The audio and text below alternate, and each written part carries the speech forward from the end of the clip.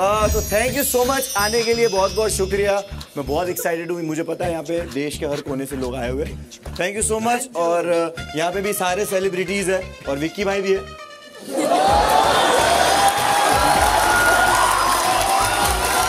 तो अभी roasting roasting तो अपन करते हैं, लेकिन अभी थोड़ा एक शायरी से शुरू करते कि चिड़िया उड़ गई? कुछ पेड़ बचे हैं। उड़ गई, कुछ पेड़ बचे हैं। शाना इधर इधर कुछ डेढ़ बचे।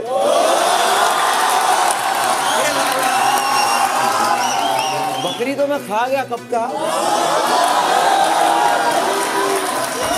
बकरी तो मैं खा गया कब का? अब लगता है थोड़े भेड़ बचे।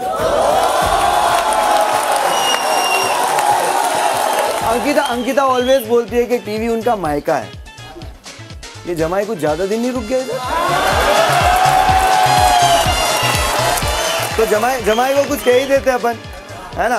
कि जितने भी मुड़ गए ना, सारे रास्ते मोड़ लाऊँगा। जितने मुड़ गए, वो सारे रास्ते मोड़ लाऊँगा। यहाँ से सारे रिकॉर्ड तोड़ के जाऊँगा।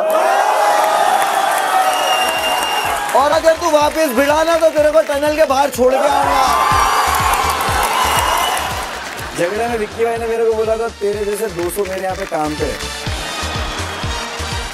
तेरे जैसे 200 मेरे यहाँ पे काम पे। है। 200 मेरे यहाँ पे काम पे। बट मैं तो एक ही इंसान को जानता हूँ जो यहाँ पे बीवी के नाम पे।